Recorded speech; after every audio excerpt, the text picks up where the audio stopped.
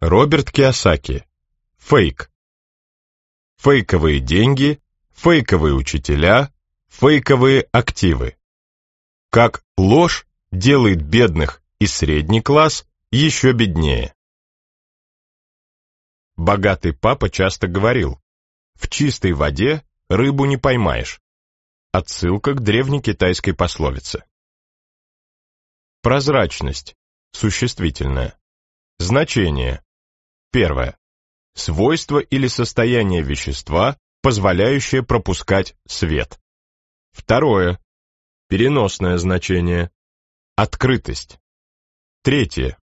Степень доступности финансовой информации о компании и ее финансовой отчетности. Посвящается всем, кто ищет истину. Выражение благодарности. Троечник благодарит отличника. Я дважды проваливал экзамены в школе, потому что не умел писать. В десятом классе мне поставили двойку по английскому. И дело не в том, что я не умел излагать мысли. С этим-то как раз все было в порядке. Просто мне не давались орфография и пунктуация, и я постоянно допускал грамматические ошибки. И все же я уверен, что главной причиной двойки по английскому являлось то, что учитель не был согласен с тем, что я пишу. Описал я то, что думал о нем. Мне хотелось знать, почему он заставляет нас читать книги, которые нам не интересны. Кстати, я не был уверен и в том, что он годится для той работы, ради которой его наняли, поскольку на экзамене он завалил свыше 75% учеников из нашего класса. После провала на экзамене в 10 классе меня чуть не выгнали из школы. Для меня это было сродни катастрофе. Никому не нравится, когда его называют тупым. И я возненавидел школу. Мне хотелось получать знания, но не те, что вбивали нам в голову. Слава богу, что отец, мой бедный папа, отговорил меня бросать учебу. Но вред уже был причинен. Сын богатого папы тоже получил двойку по английскому, и поставил ее все тот же учитель. Мне удалось окончить школу благодаря тому, что я сидел рядом с самой умной девочкой из нашего класса. Она была отличницей. В школьной системе помощь одного ученика другому называется списыванием. В бизнесе то же самое, называется кооперацией. Если бы не моя кооперация с отличницей, я бы ни за что не окончил школу. Сегодня я известен как автор бестселлеров, написавший книгу номер один всех времен которая посвящена личным финансам. Этот статус я заработал благодаря кооперации. Пожалуй, это слишком длинное предисловие, чтобы сказать спасибо книгоиздателю Мони Гамбетти. Мона – моя отличница. Она мой редактор, издатель, наставник, поклонник и друг. Мы сотрудничаем на протяжении многих лет и вместе издали много книг. Эта работа никогда не появилась бы на свет, если бы отличница Мона не входила в мою команду. Данная книга должна была выйти еще год назад. Я ее написал, а потом переписал, потому что мир меняется очень быстро, а мне нужно было простыми словами изложить достаточно сложную тему. Фейковые деньги. Без жалоб, без обвинений, без критики. Мона все это время продолжала меня подбадривать. Поэтому я посвящаю эту книгу ей и говорю спасибо. Если бы не Мона Гамбетта, если бы не ее энтузиазм, терпение и готовность прийти на помощь в трудные времена, я никогда не стал бы писателем. Настоящим писателем. Предисловие. Будущее — это фейк. Я закончил эту книгу в апреле 2018 года. По планам издательства, она должна была выйти в свет осенью 2018 года. 28 мая 2018 года я проходил мимо газетного киоска, скользя взглядом по рядам журналов, которые, казалось, кричали «Посмотри на меня», «Возьми меня», «Купи меня», «Прочитай меня». Вообще-то мое внимание больше привлекают обложки с красивыми женщинами и быстрыми машинами. Но на этот раз обложка журнала Time буквально ухватила меня за воротник и закричала «Ты должен это прочитать». Заголовок гласил «Как мое поколение разрушило Америку». Эта статья в журнале заставила меня отложить публикацию своей книги. Последний фрагмент пазла. Вы когда-нибудь собирали гигантский пазл, состоящий из тысячи элементов? Приходилось ли вам тратить часы, дни, а иногда и недели в поисках того самого фрагмента, который необходим для полноты картины? Статья в Time стала последним фрагментом моего пазла, отражающего прошлое, настоящее и будущее. Я должен был включить ее в свою книгу. А это означало, что книгу придется переписать. Элита. 28 мая 2018 года Тайм опубликовал статью Стивена Брила об академической элите. Брил сам принадлежал к академической элите. Он учился в Дирфилдской академии, элитарной частной школе в Массачусетсе, а затем окончил Ельский университет и Ельскую школу права. Цитирую статью Стивена Брила. «Зачастую личные успехи, нацеленных на достижение представителей моего поколения, бэби-бумеров, окончивших элитарные университеты и вышедших в профессиональный мир, имели серьезные социальные последствия. Перевод.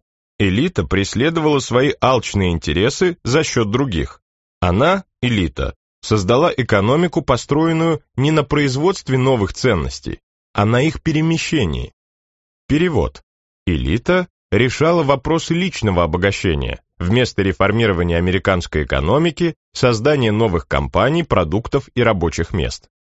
Она, элита, создала экзотические и рискованные финансовые инструменты, такие как деривативы и кредитные дефолтные свопы, которые давали огромные и быстрые прибыли, но при этом проводила грань между теми, кто рискует, и теми, на кого ложатся последствия.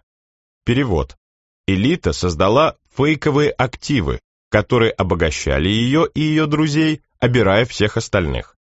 Если элита допускала ошибки, потери компенсировались ей за счет бонусов, а бедные семьи расплачивались за эти ошибки повышением налогов и инфляцией. Первый фрагмент пазла. Статья Брила стала последним фрагментом моего пазла, а первым стала книга «Усмешка гигантов», опубликованная в 1983 году. Она была написана Бакминстером Фуллером, который известен как футурист и проектировщик геодезического купола. Смотрите фото на странице 1 в приложении к аудиокниге. Павильон США на Экспо-67.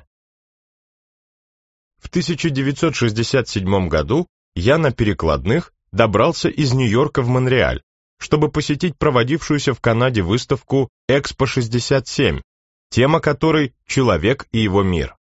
О ней говорили как о всемирной выставке будущего, как и обо всех предыдущих.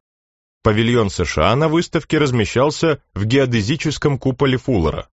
Хотя в Монреале я так и не встретился с Фуллером, мне посчастливилось несколько раз пообщаться с ним в 1981, 1982 и 1983 годах.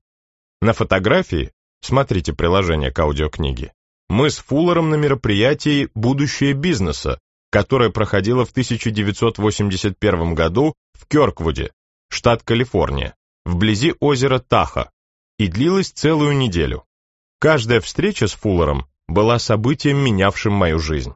Певец Джон Денвер назвал Фуллера «дедушкой будущего» в своей песне «What One Man Can Do», которую посвятил этому великому деятелю. Фуллер умер 1 июля 1983 года, примерно через три недели после нашей последней встречи. Тогда я сразу же купил его книгу «Усмешка гигантов» и прочитал ее. В ней Фуллер говорил многое из того, чему мой богатый папа учил меня и своего сына. Эта книга о том, как сверхбогатые люди грабят мир. Она стала первым фрагментом моего нового пазла из тысячи элементов. В промежутке между 1983 и 2018 годами я учился, читал, посещал семинары, слушал лекции тех, кто, по моему мнению, располагал недостающими частями пазла. Во второй части своей книги «Фейковые учителя» я упоминаю о некоторых настоящих учителях, с которыми встречался, у которых учился и чьи книги читал. они дали мне некоторые части пазла. 28 мая 2018 года, спустя 35 лет после «Усмешки гигантов», мне попалась на глаза статья «Брилов Тайм», и она стала для меня последним, тысячным фрагментом огромного пазла. Брил подтвердил многое из того, что тревожило Фуллера и что тот предсказывал в своей книге. Фуллер был футуристом. Сегодня сбываются многие его предсказания и тревоги, поэтому статья Брила пришлась как раз ко времени. Хотя из-за этой статьи мне пришлось отложить выпуск своей книги, я благодарен ее автору за то, что он раскрыл некоторые тайны мира, о существовании которого догадываются лишь немногие. Мира самых лучших, ярких и умных представителей академической элиты Америки. Если вам интересно, я перечислю некоторых самых знаменитых элитных деятелей. Президент Билл Клинтон, госсекретарь Хиллари Клинтон, президент Барак Обама, президент Джордж Буш-старший, президент Джордж Буш-младший, председатель Федерального резервного банка Бен Бернанке, председатель Федерального резервного банка Джанет Йеллен, сенатор Мит Ромни. На свете есть еще много других представителей элиты, которые правят миром. Это не заговор плохих людей. Я не утверждаю, что в элиту входят плохие люди, хотя они могут там быть или заговорщики. При всех своих сомнениях я верю, это хорошие люди, и они делают то, что считают правильным. Проблема в другом. Они настолько умны, что у них отсутствует кнопка сомнений в себе.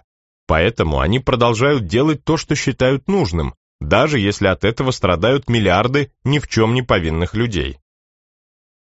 Кто такие гиганты? Гиганты и академическая элита – это совсем не обязательно одни и те же люди. Основываясь на лекциях и книгах Фуллера, я пришел к выводу, что элита – это марионетки, а гиганты – кукловоды. Как известно, кукловодов можно увидеть не так уж часто они предпочитают оставаться за сценой, в темноте. В этой книге я постараюсь пролить свет на кукловодов. Но вернемся к переработанной версии данной книги. Что такое реальность и что такое фейк? Если вы не совсем оторвались от жизни, то только и слышите сегодня о разных фейках. Почти все, во что мы верили раньше, сегодня обернулось фейком президент Дональд Трамп ввел в оборот выражение «фейковые новости» применительно ко множеству материалов, которыми снабжают нас средства массовой информации. В социальных сетях у многих людей куча фейковых фолловеров. Миллионы людей тратят миллиарды долларов, покупая фейковый Rolex, Louis Vuitton и Versace. А ведь есть еще и фейковые лекарства. 17 января 2019 года Time процитировал Роджера Макнейми, который пишет о разнице между информацией и дезинформацией, то есть фейковыми новостями. В Фейсбуке информация и дезинформация выглядят одинаково. Единственная разница заключается в том, что дезинформация приносит больше доходов, поэтому ей уделяется больше внимания. Этот тип дезинформации подпитывает нездоровые настроения, провоцируя людей, вызывая у них возбуждение и недовольство. Глубокий фейк.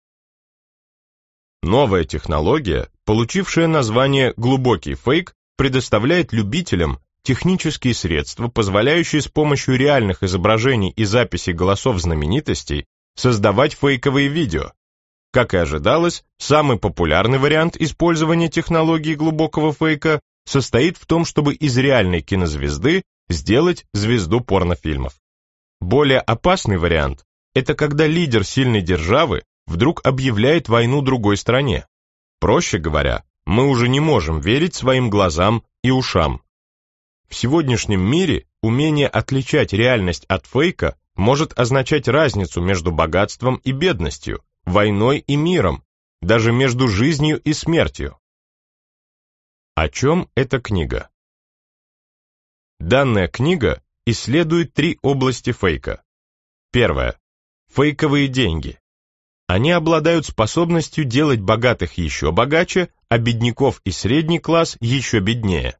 Смотрите график под названием «Разрыв в распределении доходов по сравнению с 1979 годом после уплаты налогов», и с учетом инфляции.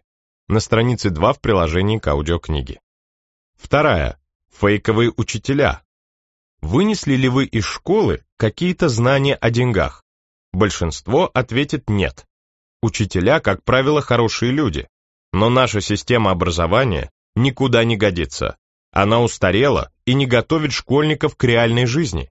Вместо того, чтобы освещать ученикам дорогу, образовательная система погружает молодых людей в финансовую тьму и загоняет их в самый страшный из всех долгов – кредит за учебу в колледже.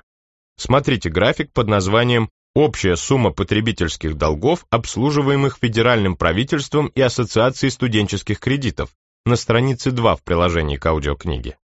Суммарная задолженность студентов превышает триллион долларов и является первым по величине активом правительства США. В криминальном мире это называется вымогательством. Третье.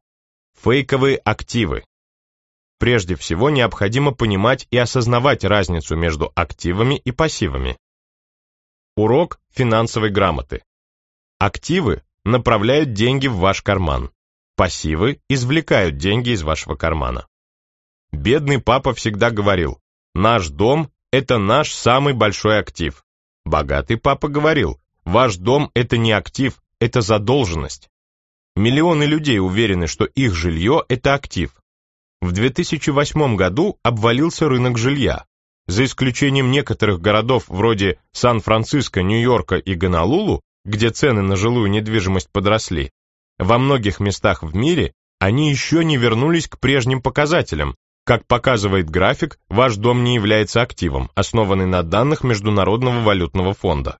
Смотрите график на странице 3 в приложении к аудиокниге. Это не был кризис рынка недвижимости.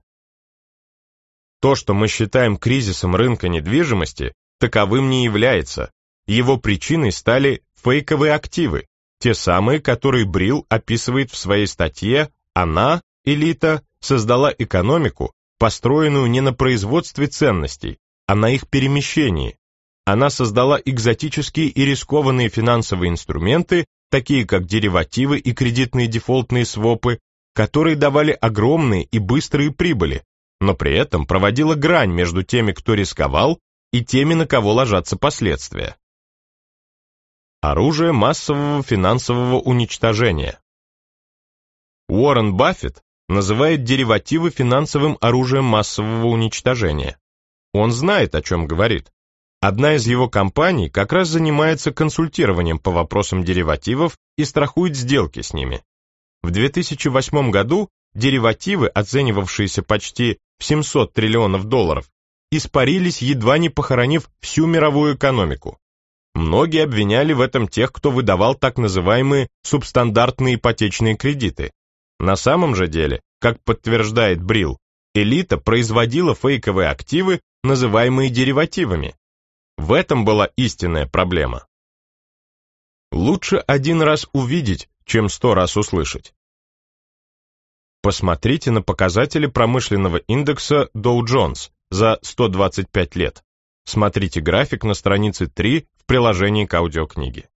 Баки Фуллер учил нас, что прежде всего необходимо увидеть общую картину, а уж потом всматриваться в детали. К сожалению, большинство инвесторов начинают с мелочей, а потом переходят к совсем уж крошечным деталям. Например, многие инвесторы просыпаются и смотрят, растет или падает одна их любимая акция, а потом идут на работу. Возможно, они являются экспертами в вопросах деятельности, скажем, компании Amazon, но не могут разглядеть общую картину. Одна акция из тысячи других на глобальном рынке не даст достаточной информации о будущем. Как заглянуть в будущее? Доктор Фуллер говорил своим ученикам, если вы хотите заглянуть в будущее, начинайте с самой общей картины. Приведенные данные за 125 лет – это шаг назад, позволяющий увидеть общую картину, перспективу, которая складывалась годами. Значительная часть данной книги будет построена на тех же принципах, что и этот график, и у вас появится возможность заглянуть в будущее, пользуясь этой перспективой. Невидимые деньги. Еще один урок, который вы почерпнете из данной книги, заключается в том, что деньги невидимы. Графики и схемы дают возможность увидеть невидимые деньги, перемещающиеся между рынками. В книге «Богатый папа, бедный папа» я писал о важности денежного потока. Именно это побудило меня и мою жену Ким создать в 1996 году настольную игру Cash Flow. Богатый папа не раз говорил, богатые люди поворачивают денежный поток в свою сторону, а бедняки и средний класс от себя. Доктор Фуллер учил, нельзя увернуться от приближающейся угрозы, которой ты не видишь. Поэтому так важно уметь смотреть в будущее. Работая над данной книгой, я старался не наводить тоску на читателей и слушателей, поэтому излагал все как можно проще и использовал больше визуальных материалов, чем фактов и чисел. Гигантский крах. На графике с показателями индекса Dow Jones отмечен гигантский крах 1929 года, и для этого есть причина. Если вы сравните эти события с крахом компании Dot.com 2000 года или крахом рынка недвижимости 2008 года, вам станет ясно, почему Фуллер написал свою «Усмешку гигантов», почему я написал «Богатый папа, бедный папа», и почему Стивен Брилл написал «Как мое поколение разрушило Америку». Еще раз повторю слова Брила, потому что они чрезвычайно важны. Она, элита, создала экзотические и рискованные финансовые инструменты, такие как деривативы и кредитные дефолтные свопы, которые давали огромные и быстрые прибыли, но при этом проводила грань между теми, кто рискует, и теми, на кого ложатся последствия. Финансовые бумы и провалы, которые не раз переживал мир, были вызваны триллионами фейковых долларов, которыми элита накачивала систему. Делала ли элита попытки исправить ситуацию? Конечно, нет. Зачем что-то исправлять, если что-то делает тебя богатым? Зачем что-то менять? Зачем делать что-то иначе? Жизнь прекрасна для элиты. В 2008 году в деривативы было вложено почти 700 триллионов долларов. В 2018 году эта сумма, по некоторым оценкам, составляла уже 1,2 квадриллиона долларов. Вы не ослышались. Элита лишь усугубила проблему, увеличив уровень почти вдвое. В 2019 году катастрофа на квадриллионы долларов уже готова разразиться. Цель этой книги. Я пишу книги и выпускаю игру Cash Flow, чтобы дать обычным людям вроде вас и меня, не принадлежащим к академической элите, возможность выжить, а может быть даже процветать и обрести богатство после грядущего краха. А это будет крах на квадриллионы долларов. Освоение чисел. Нам придется иметь дело с большим количеством нулей. Миллион – это сколько? Многие мечтают стать миллионерами. Миллион – это тысяча раз по тысяче. Миллиард – это сколько? Миллиард – это миллион раз по тысяче. Триллион – это сколько? Триллион – это миллиард раз по тысяче. Квадриллион – это сколько? Квадриллион – это триллион раз по тысяче. Напрашивается вопрос, что будет, если испарятся деривативы на сумму 1,2 квадриллиона долларов. Именно поэтому я и написал данную книгу. Когда академическая элита берет на себя контроль за нашими деньгами, учителями, активами, получается экономика, построенная по принципу карточного домика. Несколько фактов для сравнения. Миллиард секунд назад был 1987 год. Миллиард минут назад по земле ходил Иисус. Миллиард часов назад люди жили в пещерах. Миллиард дней назад людей еще не было. Каждые два часа правительство США тратит 1 миллиард долларов. В 1983 году Бакминстер Фуллер предсказывал это будущее. В 1996 году была создана игра Cash Flow. В 1997 году была опубликована книга «Богатый папа, бедный папа». В 2018 году Стивен Брилл подтвердил, что будущее, предсказанное Фуллером, уже наступает. Вот почему я отложил издание данной книги. Я хотел, чтобы вы увидели пазл целиком.